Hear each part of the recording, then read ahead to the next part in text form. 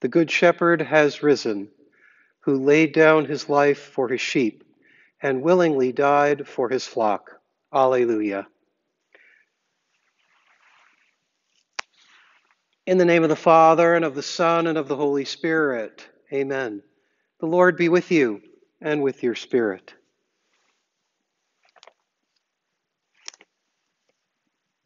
Brothers and sisters, let us acknowledge our sins and so prepare ourselves to celebrate the sacred mysteries. Lord Jesus, you came to reconcile us to one another and to the Father. Lord, have mercy. Lord, have mercy. Lord Jesus, you heal the wounds of sin and division. Christ, have mercy. Christ, have mercy. Lord Jesus, you intercede for us with your Father. Lord, have mercy. Lord, have mercy.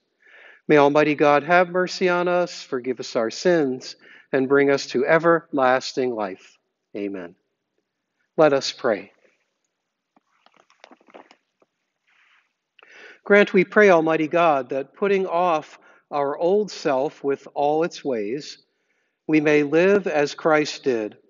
For through the healing paschal remedies, you have conformed us to his nature, who lives and reigns with you in the unity of the Holy Spirit, one God, forever and ever. Amen. A reading from the Acts of the Apostles. Stephen, filled with grace and power, was working great wonders and signs among the people. Certain members of the so called synagogue of freedmen, Cyrenians and Alexandrians, and people from Cilicia and Asia, came forward and debated with Stephen, but they could not withstand the wisdom and the spirit with which he spoke. Then they instigated some men to say, we have heard him speaking blasphemous words against Moses and God. They stirred up the people, the elders, and the scribes, accosted him, seized him, and brought him before the Sanhedrin. They presented false witnesses who testified, This man never stopped saying things against this holy place and the law. For we have heard him claim that this Jesus the Nazarene will destroy this place and change the customs that Moses handed down to us. All those who sat in the Sanhedrin looked intently at him and saw that his face was like the face of an angel. The word of the Lord. Thanks be to God.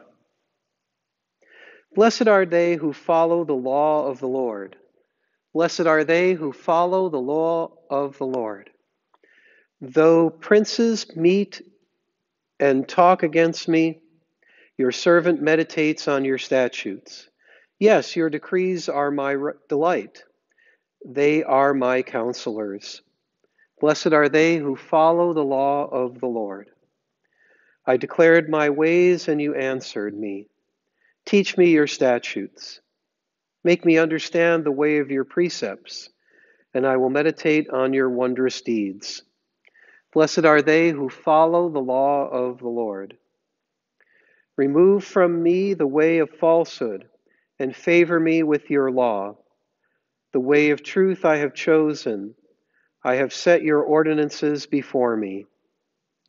Blessed are they who follow the law of the Lord.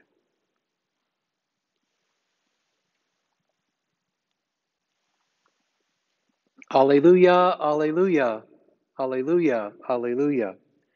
One does not live on bread alone, but on every word that comes from the mouth of God. Alleluia, Alleluia. The Lord be with you and with your spirit. A reading from the Holy Gospel according to John. Glory to you, Lord.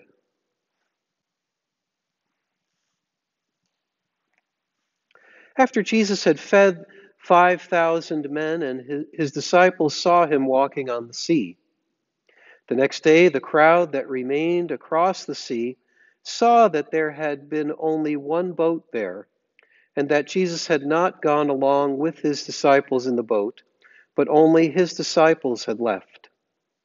Other boats came from Tiberias, near the place where they had eaten the bread when the Lord gave thanks. When the crowd saw that neither Jesus nor his disciples were there, they themselves got into boats and came to Capernaum looking for Jesus. And when they found him across the sea, they said to him, Rabbi, when did you get here? Jesus answered them and said, Amen, amen, I say to you, you are looking for me because, not because you saw signs, but because you ate the loaves and were filled. Do not work for food that perishes, but for the food that endures for eternal life, which the Son of Man will give you. For on him the Father, God, has set his seal. So they said to him, What can we do to accomplish the works of God? Jesus answered and said to them, This is the work of God, that you believe in the one he sent. The Gospel of the Lord. Praise to you, Lord Jesus Christ. Well, we find ourselves in the sixth chapter of uh, John's Gospel. Uh, the Bread of Life Discourse is what it's called. And so, what we have here is uh, sort of a classic thing that happens in the Gospel of John, where Jesus is trying to move people again very quickly away from the physical to the spiritual.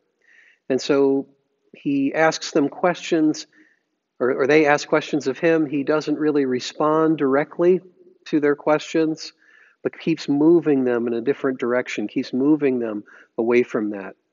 The reason Jesus fled them at the beginning here is because they thought they were just he, they would just make him king and that he would just multiply food for them whenever they needed it and everything would be fine. Everything would be great.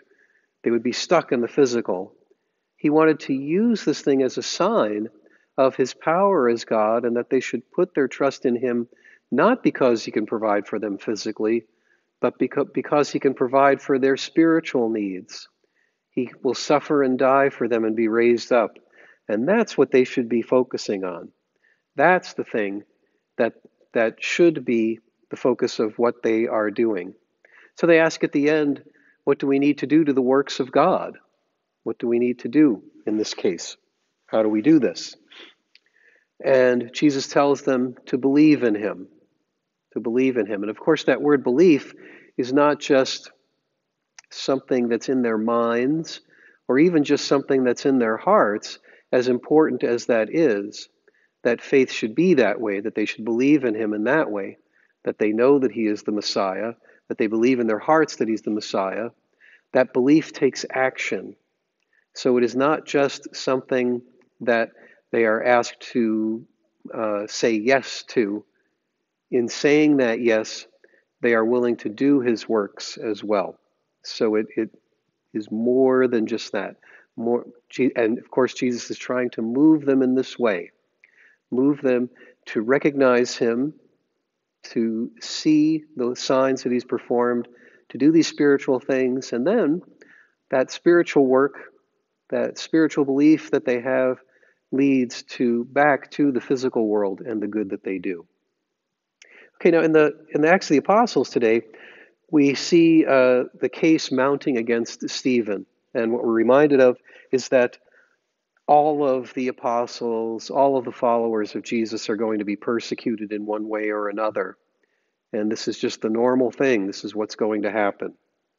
So, um, we see them uh, saying wrong things about him, saying that, that he's speaking these blasphemous words. They are misrepresenting what he said about Jesus. But Jesus has this, uh, excuse me, Stephen has this face of an angel in this. He is filled with God's Spirit. And in a way, he's already being made ready for the martyrdom that he would suffer. He already knows the path that he is on. He is willingly accepting it. He's allowing it all to happen. And in, in uh, this way, he has resigned himself to God's will, and his face just glows like an angel because of that. His willingness to give over to God's will. So today we um, again uh, ask the Lord to fill us spiritually the spiritual communion we will have here today, uh, since I'm the only one that's going to be receiving Jesus physically today uh, in his body and blood, um, we ask to take that spiritual communion and put it into good practice, to ask the Lord to help us, to strengthen us, and to keep us on a good path, doing good works for others.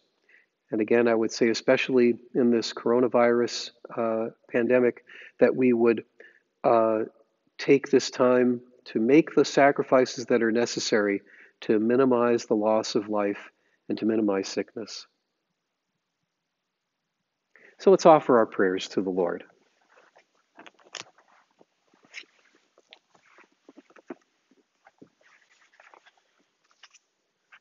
We offer the Mass today for the happy repose of the soul of Jose Martinez. We pray to the Lord. Lord, hear our prayer. We pray for all the homebound, which would include everyone, I think, at this point. But in particular, we want to pray for uh, Dutch Hallingsey, for Sam Clark, for uh, Betty King. We pray to the Lord. Lord, hear our prayer. We also want to pray for the happy repose of the soul of Dave Campbell. His graveside, which is private, will be on Wednesday, and uh, we pray uh, that we will be able to have a much bigger celebration of his life soon. We pray to the Lord. Lord, hear our prayer. That uh, world leaders be more diligent in their efforts to protect those who are persecuted. We pray to the Lord. Lord, hear our prayer. That those who attend the sick and those who assist them in their daily life be blessed in their loving care, especially those taking care of people who have contracted the coronavirus. We pray to the Lord. Lord, hear our prayer. We pray uh, for all who have died as a result of the coronavirus. We pray that they may be received into the kingdom. We pray to the Lord. Lord, hear our prayer. And we pray for our government that uh, at all levels it may continue to provide the needed assistance to minimize the impact of this virus. We pray to the Lord. Lord, hear our prayer. Eternal God, out of your love for humankind, you sent your Son to feed us with the word of life. Let our expressions of gratitude rise up to you and give you glory through our Lord Jesus Christ, your Son, who lives and reigns with you in the unity of the Holy Spirit, one God, forever and ever. Amen.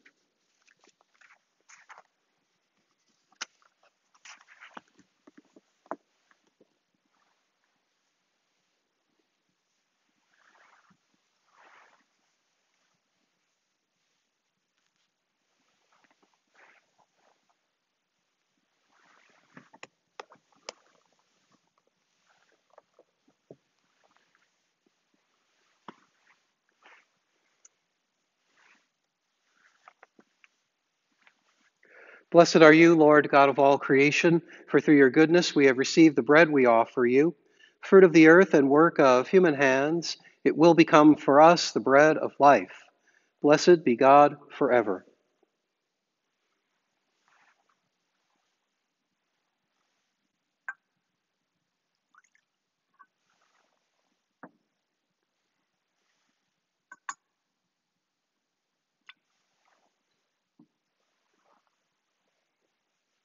Blessed are you, Lord, God of all creation, for through your goodness we have received the wine we offer you.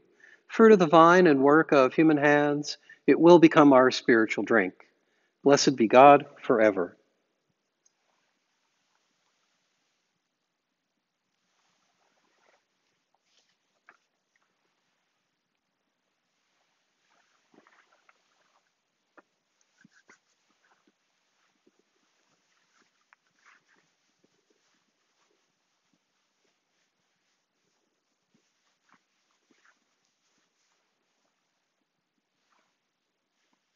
Pray, brothers and sisters, that my sacrifice and yours may be acceptable to God, the Almighty Father. May the Lord accept the sacrifice at my hands for the praise and glory of his name, for our good and the good of all his holy church. May our prayers rise up to you, O Lord, together with the sacrificial offerings, so that purified by your graciousness, we may be conformed to the mysteries of your mighty love. Through Christ our Lord. Amen.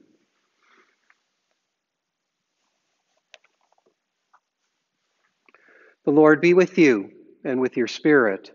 Lift up your hearts. We lift them up to the Lord.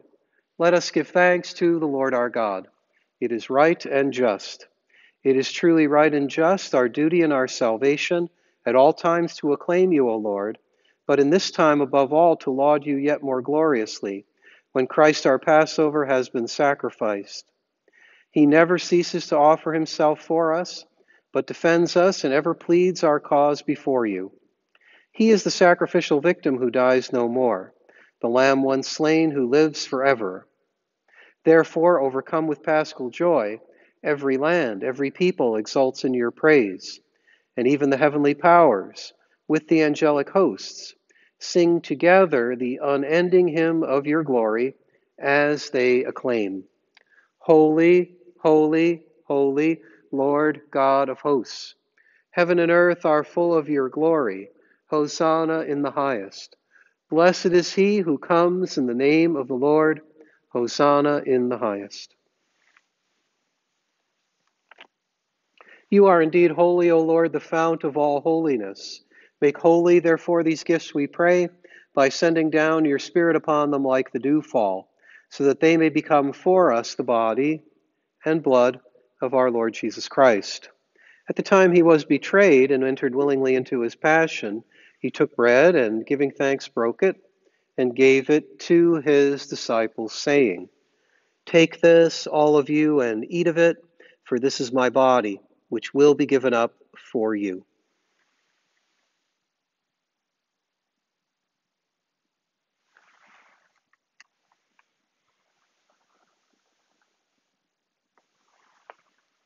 In a similar way, when supper was ended, he took the chalice, and once more giving thanks, he gave it to his disciples, saying, Take this, all of you, and drink from it, for this is the chalice of my blood, the blood of the new and eternal covenant, which will be poured out for you and for many for the forgiveness of sins.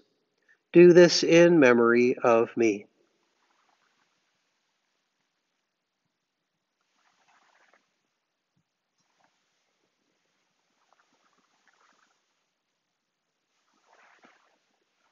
The mystery of faith.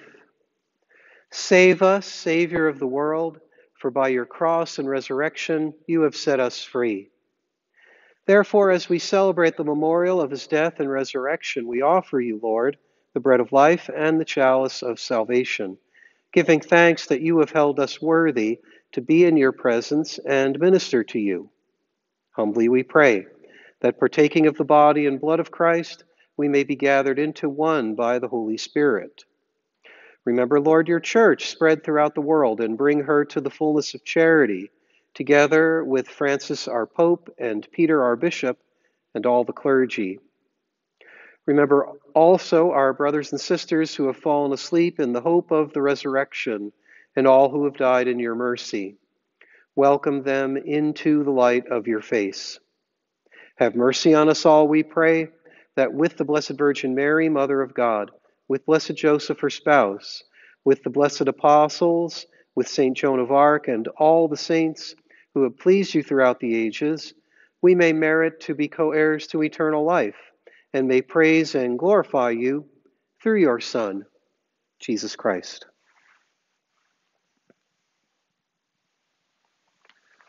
Through him, and with him, and in him, O God, Almighty Father, in the unity of the Holy Spirit, all glory and honor is yours, forever and ever. Amen.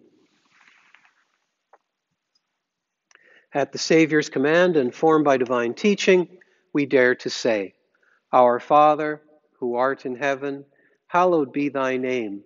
Thy kingdom come, thy will be done, on earth as it is in heaven. Give us this day our daily bread, and forgive us our trespasses as we forgive those who trespass against us.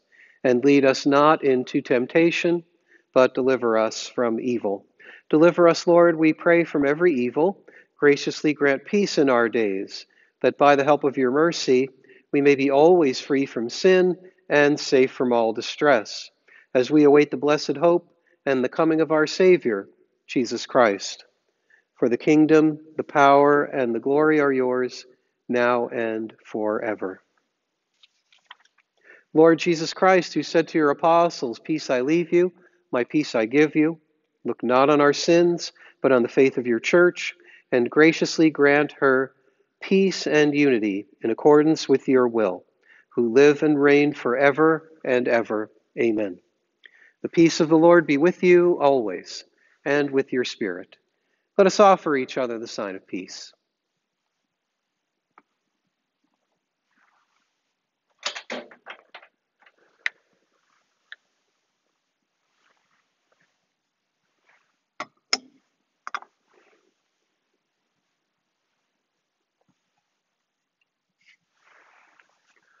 Lamb of God, you take away the sins of the world. Have mercy on us. Lamb of God, you take away the sins of the world. Have mercy on us. Lamb of God, you take away the sins of the world. Grant us peace.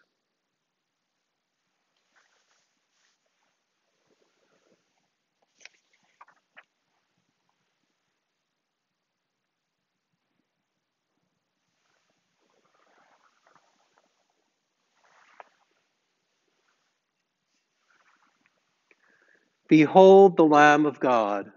Behold him who takes away the sins of the world. Blessed are those called to the supper of the Lamb. Lord, I am not worthy that you should enter under my roof, but only say the word, and my soul shall be healed.